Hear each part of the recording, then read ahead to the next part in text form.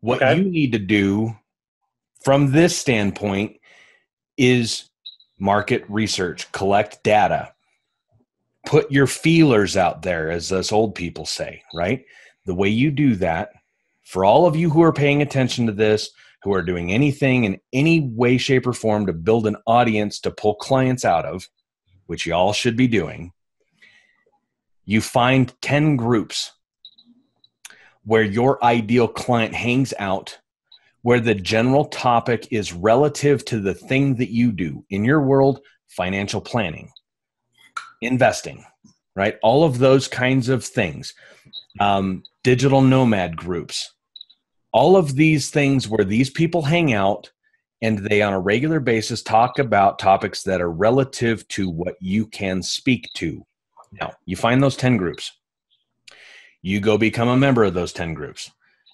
You don't go post anything in those groups until you've taken a week or two at minimum, eight or 10 hours in each group, looking through what the actual going on is in that group. And you determine if it's a group that you want to participate in. Okay.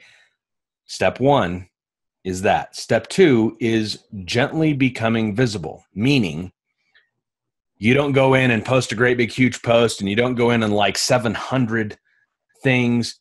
You go in and you you like a couple of well written statements or well posed questions or well posed posts.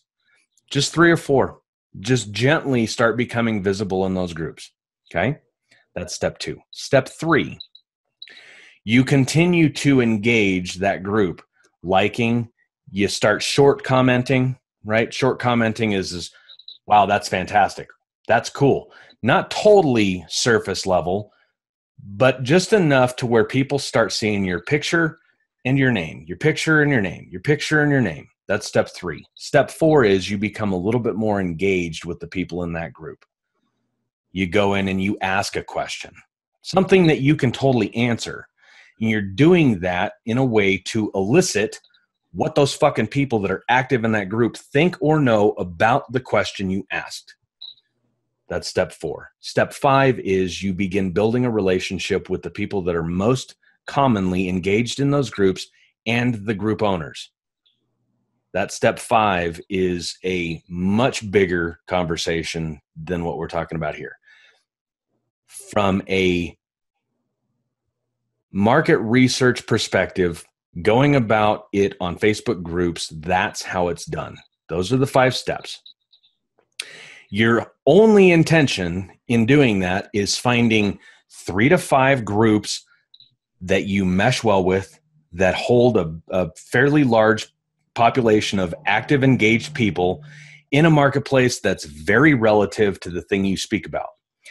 Step six is you slowly become the authority on your specific niche down thing that's relative to that marketplace. Step seven is you begin having people reach out to you and PM you and start going through your profile funnels, your Facebook profile funnel. Stick around for a while and you'll learn what that is. All of a sudden, people are in your world. You never asked them to join you in your world they're there because you went through the right process to bring them into your world. And those people are highly targeted leads for your business. Step eight is you put together a mock up idea or mock up version of the thing that you can teach, and you give it to 10 or 20 people and get their feedback on it. You ask them, here's what I do, here's what I know, here's what it's like, et cetera, et cetera. Step nine, you put together a beta course or coaching program or a paid membership group, whatever that is. Step 10 is you then begin to build an audience. We can teach you that in a totally different, totally different place. So there's, from my perspective, knowing what I know about you and what you want to do, if that's the direction you go, those are the 10 steps that you can and should take in the next 60 to 90 days to get that going.